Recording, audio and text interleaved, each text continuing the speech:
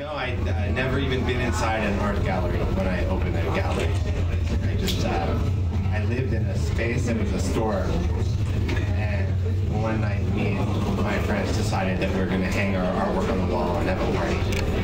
And from there it started to